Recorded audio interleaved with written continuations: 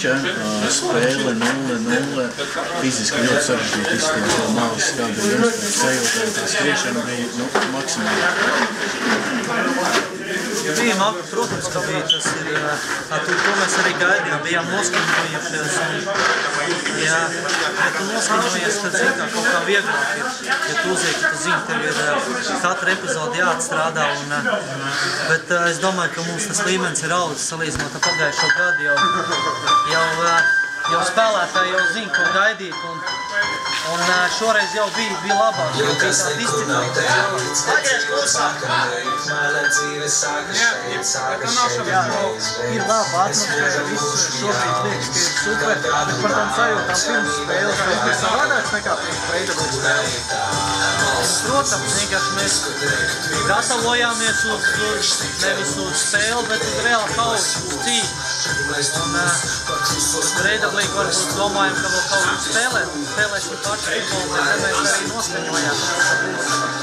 Mums jāspēlē aizsardzībā varbūt vairāk, bet uh, mēs varējām labāk iziet vairākām epizodēm un uh, skatīsimies video analizēt, un es domāju, ka vēl varam, vēl ir pielikt.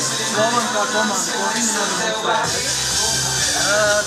Neko, ko mēs nebijām gaidījuši. Visu, ko mēs gaidījām, izpildījām treneru plānu.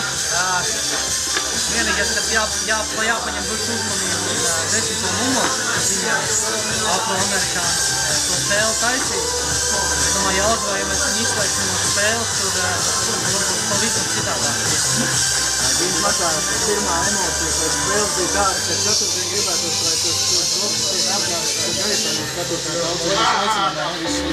Jā, tas ir jau iepriekšējā spēlē, es īstenībā aizgāju mājās un apskatījos, apskatījos bildes un video un jā, malaks tie tiešām Jelgavnieki, visi, kas sanāca. Es viņus atbalstu, es viņus aicinu, mums vajadzīgs viņu atbalsts, jo viņu atbalsts, tas ir, tas ir mūsu spēks atkal. Nevar ka viņi uzbļauj, un tas uzreiz ir adrenalīns iet virsū, spēks ir rodās no viņiem. Tā kā es aicinu visus nākot skatīt zem tos olimpisko centru un vienkārši bļaut tikai spēku. Esam ēst.